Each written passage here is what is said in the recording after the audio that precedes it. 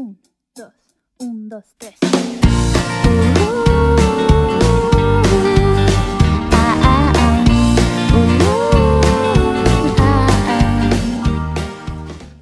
Crecí estudiando en Venezuela en un colegio musical, canté en la coral y tenía, tenía eh, actos todos los fines de semana donde cantaba con la coral o hacía solos. Entonces siempre estuve eh, como en presencia de, un público, ¿no? Si, bien no venían a verme a mí como solista, estaba en un concierto, estaba con, eh, interactuando con una audiencia.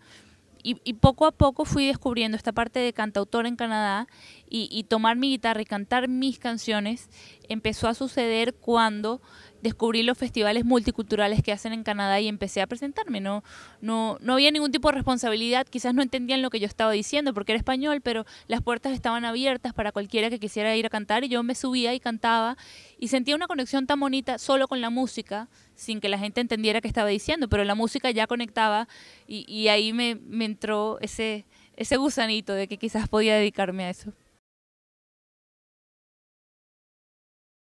Crecí con la música tradicional venezolana, por supuesto, Simón Díaz, para cualquier venezolano es un ídolo. Eh, Rinaldo Armas también cantaba eh, eh, estas canciones llaneras que mis padres cantaban y yo, pues bueno, em empecé a, reconocer desde niña y ya cuando, cuando me mudo a Canadá, que conozco a una Alanis Morissette, conozco a una Nelly Furtado, eh, conozco a Imogen Heap, que ya venía de Inglaterra, pero empecé a conocer esta, esta escena alternativa en Canadá que, que para mí era completamente nueva. Yo venía de Venezuela, de un cuatro, una guitarra, un arpa.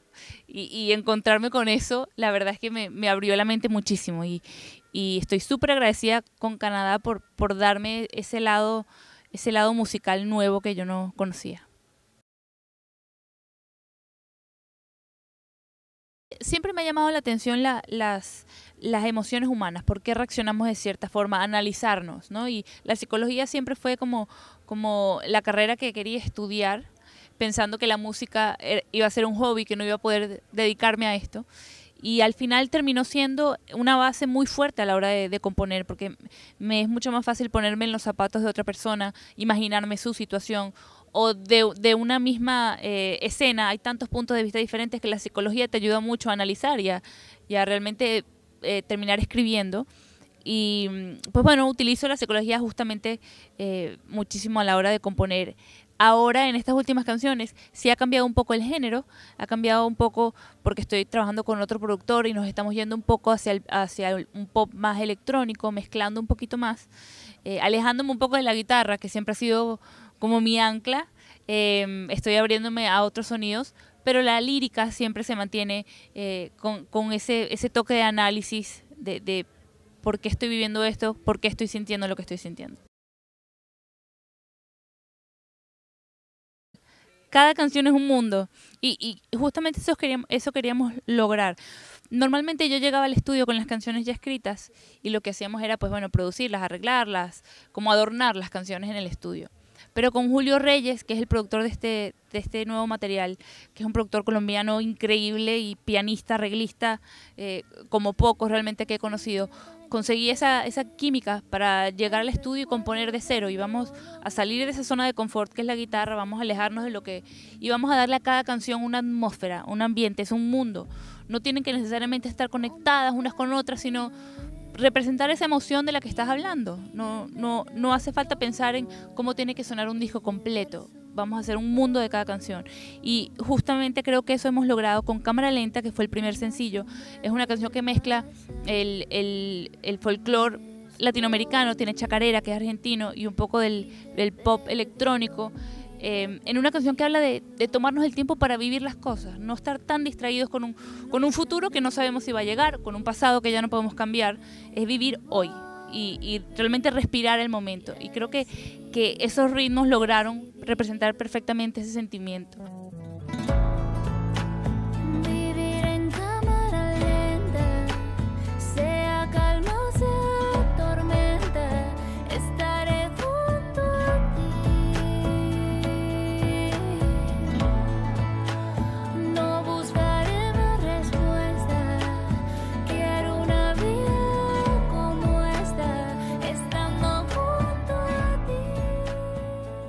Y luego viene la marea, que es esta idea de, de dejarse llevar, de que a veces hay que, escuchar el impulso en vez de la razón.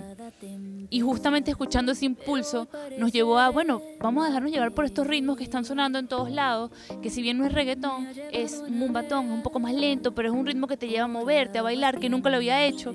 Y nos dejamos llevar, literalmente como dice la canción La Marea, nos dejamos llevar. Entonces la idea de que cada canción sea un mundo es lo que me tiene más emocionada de toda esta nueva etapa. Este aire que hoy se siente, justo cuando estamos frente a frente.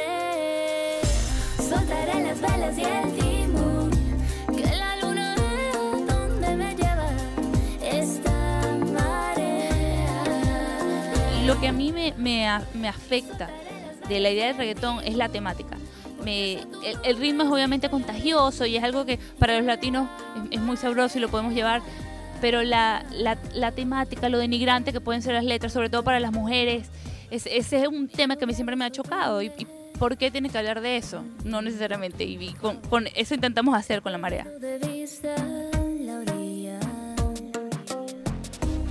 Me ha pasado a mí también.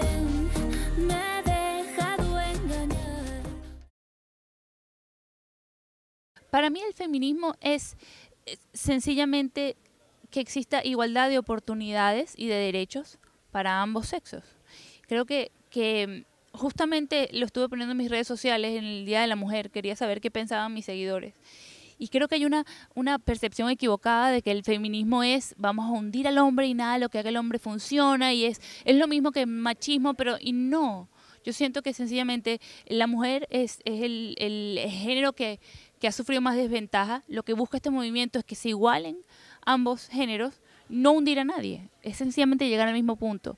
Y todavía nos falta, no estamos ahí. Y quizás en, la, en las sociedades de Occidente estamos más cerca y, y- en otras sociedades sí se vive una, una diferencia mucho más radical, em, pero nos falta igual. Y, creo que, que el feminismo no hay que verlo como que queremos hundir al hombre, no tiene nada que ver con eso. Sencillamente empowering, empoderamiento de nosotras, mujeres, sentirnos seguras y apoyadas, porque podemos hacer exactamente lo mismo que hacen los hombres. porque no somos remuneradas de la misma forma? porque no somos apreciadas de la misma forma? porque no tenemos los mismos derechos? Sí podemos hacer exactamente lo mismo.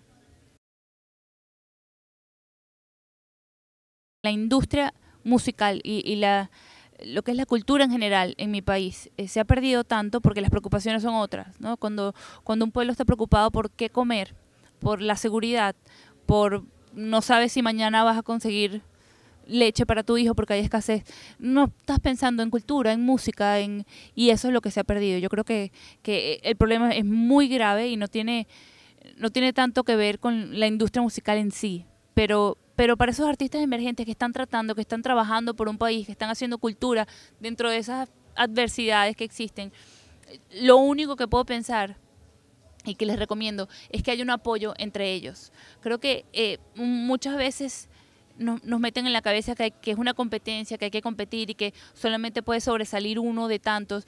Y creo que mientras más nos apoyemos, pues más salen todos, ¿no? Hay mucha más plataforma para que haya una industria, para que todos crezcan. Y justamente eso se ve en los artistas venezolanos que hemos salido. Hay un apoyo entre todos, porque todos sabemos que estamos fuera, todos sabemos lo difícil que es empezar de cero y hay que apoyarnos y así poco a poco hemos podido surgir. Yo cantando con los amigos invisibles, ellos cantando con la vida bohemia y uniéndonos, ¿no?